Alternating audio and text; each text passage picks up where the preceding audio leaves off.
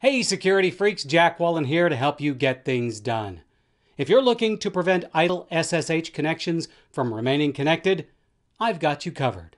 Open the configuration file on the server for editing with the command sudo nano slash etc slash ssh slash sshd underscore config. Scroll to the bottom of that file and add the following three lines. TCP keep alive, yes. Client alive interval, 30 client alive count max 2. The default client alive interval is in seconds and is counted the number of times configured in client alive count max, so 30 twice is 1 minute. Once you've made your configurations, restart the SSH daemon with the command sudo system control restart sshd.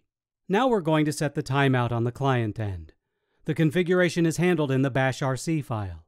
But instead of going through every user's bashrc file, you can do this in the global file with the command sudo nano slash etc slash bash dot bashrc.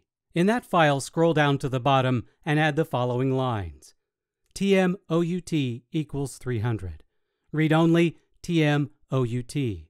Export tmout. The tmout option sets the amount of time in seconds that an idle connection will be allowed. Now that you've configured the timeout interval, connect to any of your remote Linux servers via SSH. Don't do anything at the terminal. You should be kicked out of the session as soon as the allotted inactive time passes. If you want to learn more in the ways of everything tech, be sure to subscribe to our TechRepublic YouTube channel and watch more how-to videos at How to Make Tech Work.